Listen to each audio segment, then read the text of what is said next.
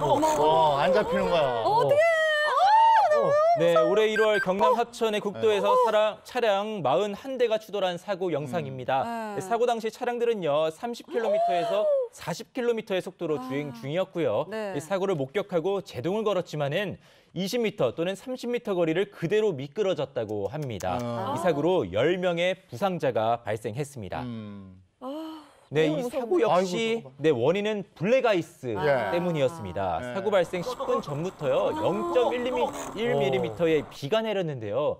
이 비가 도로에서 순간적으로 이렇게 얼어붙으면서 음. 블랙 아이스로 바뀌었다고 합니다. 음. 그러니까 좀 전에 어 했잖아요. 네, 네. 그러니까 브레이크를 밟아도 속절없이 이렇게 미끄러지는 아유, 거예요. 그럼. 네. 다행히 큰 피해 없었던 거는 좀 속도를 다들 좀 줄였기 때문에 음. 네. 가속 내지 않았기 때문에 네, 참. 그나마 다행인 거죠. 예. 이 인근에요 과속 이 카메라, 이, 이 과속 카메라 있잖아요. 네. 그게 좀 설치가 돼 있었다고 해요. 네. 그러다 아. 보니까 차량들이 이걸 보고 좀 감속을 하다 보니까는 음. 그거에 의해서 좀 이 사고가 좀 맞아. 경미했다고 합니다. 아, 네. 다행이네요. 네, 다음에도 영상을 한번 보시겠습니다. 예. 아, 눈 어, 네. 고속도로에서 차량 한 대가 비틀거립니다. 아이고, 예, 비틀거리다가 어. 그대로 미끄러지면서 갓길에 서 있던 사람들을 아, 저거 그대로 알아, 덮치는데요. 알아. 이 갓길에는 이미 사고가 난 차량 17대가 비상등을 켠 와. 채 늘어서 있었습니다. 아하. 이 사고는 지난해 11월 고속도로 다리 부근 이 블랙아이스 때문에 음. 발생한 사고인데요. 이 첫 번째 사고 발생 시간이 오전 7시 40분, 이때부터 30분 동안요 차량 20대가 미끄러져서 추돌하는 사고가 연이어서 발생을 아. 했습니다. 네. 아이고. 블랙아이스 때문에 이런 저것도. 사고들이 계속해서 있는 거죠. 근데 네. 운전하다 보면 저게 잘 안 보인단 말이에요. 맞아, 그래서. 방심하면은 그게 그리고 아차 순간에 브레이크 밟으면 쫙 아, 미끄러 돌죠. 통제가 안 네. 되니까. 근데 블랙 아이스는 또 무서운 게 미끄러져서 사고 나잖아요. 그러면 뒤에 이어오던 차들이 줄줄이 그냥 계속 그러니까. 들이받는 거예요. 음, 맞아요. 이게 무서운 거예요. 날 네. 갈수록 추워질 거 아니에요, 이제. 네, 이 블랙 아이스는요, 이 겨울철에 그늘진 곳에 네. 얇은 얼음막이 생기면서 네. 거기가 미끄러지는 이렇게 블랙 아이스 현상이라고 하는데요.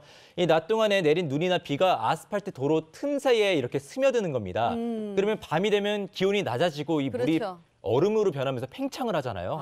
그러다 보니까는 도로 위로 이 얼음이 올라오면서 맞아. 얇은 얼음막이 생기는 거. 이거를 블랙 아이스라고 합니다. 안 보여, 안 네. 보여. 어. 아, 그러니까 아, 제 지인도 네. 원래 평상시 안전운전 하시는 분이거든요. 네. 근데 네. 이제 야, 운전을 잘하고 있다가 약간 미끄러지는 기운을 느껴가지고 브레이크를 밟았더니 그때부터 돌아, 돌아버려. 어, 그때부터 저기 통제가 안 된다 그러더라고요. 아. 그러니까 그러면은 이 블랙 아이스를 만났을 때 어떻게 대처해야 되는지 좀 알아야 될 것 같아요. 그렇지. 뭐 가장 좋은 거는 스노우 체인이나 스노우 타이어를 장착하시는 게 좋죠. 아. 예, 그리고서는 이 앞차와의 간격을 더 벌리는 음. 끼는 게 가장 좋습니다. 음. 아, 그리고 또 블랙 아이스 구간에 만약에 진입했다 이렇게 생각을 하시면 속도를 줄여서 서행 운전을 하시는 게 가장 중요하고요. 급하게 급브레이크를 밟으시면 안 되고 엑셀을 좀 띄시면서 좀 아. 서서히 멈추시는 게 좋고 만약에 그렇게 브레이크를 밟으셨다면요 핸들을 직진으로 그대로 놔두시는 게 아. 가장 좋습니다. 아, 예. 네. 이게 일단 브레이크 밟으면 차가 틀어진단 말이에요. 맞아. 그렇죠. 네. 그리고 천천히 가도 제동 거리가 그만큼